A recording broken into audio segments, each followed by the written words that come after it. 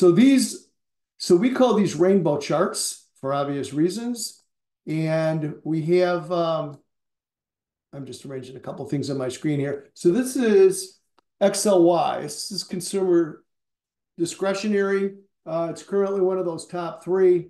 So what we have here is one year's data going backwards daily. And this shows the daily ranking in SEAF for that time period up on top. Favored is green, neutral is yellow, and avoid is red, just like on the graphic that I showed you two minutes ago. And down here is the corresponding relative performance chart of, um, in this case, XLY versus SPY. So you can kind of see here when, when consumer discretionary moved into favored territory. What have we got? Let's call this the beginning of May through midway through July of last year, right here. That fueled all this relative outperformance by XLY. Uh, you could see the same thing happen here during the fourth quarter of last year. We had this extended move into favored territory, and we had some outperformance. This is relatively new. This is from February the 5th.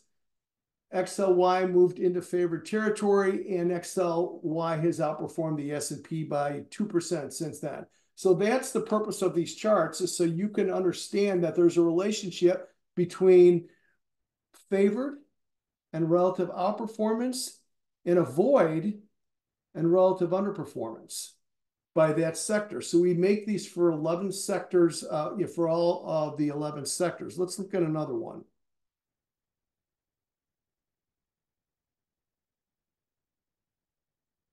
The next one is going to be industrials because that's a new move into the top three here. So you should be able to see industrials now. And what we're showing is this very new move back up into favored territory right here. And we've gotten a little wiggle our way. We've gotten a little bit of relative outperformance over the past week or so. So going back and looking across the chart, when it was in avoid territory this time last year, beginning of March through the beginning of May, that coincided with all this relative underperformance by XLI, which is the ETF for the industrial sector.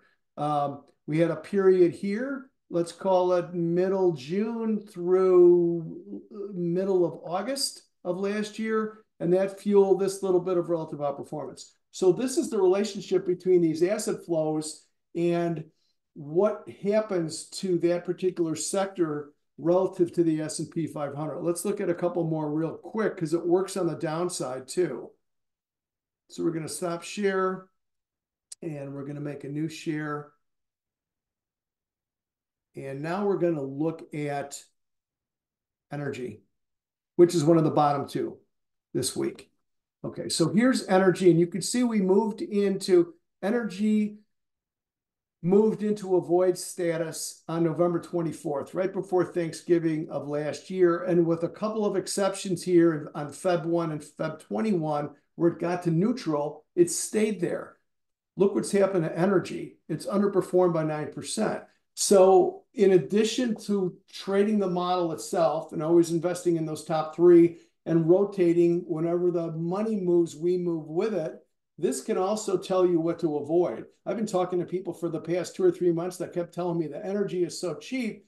Why don't we buy energy, John? Isn't it a good deal to buy energy? No. Why? Because the money is leaving there. We don't want to be the first guy in a good idea and have to get beaten up for two months um, and hold a loss until our ship comes in.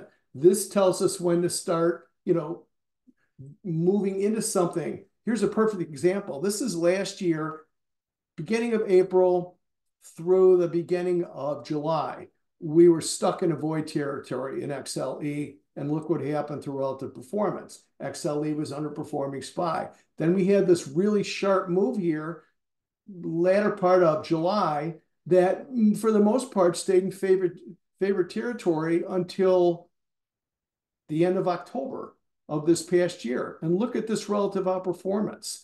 So the SEAF model can tell tell you not only what to be in, but what to what to avoid. I think the avoid is every bit as important as what to be in.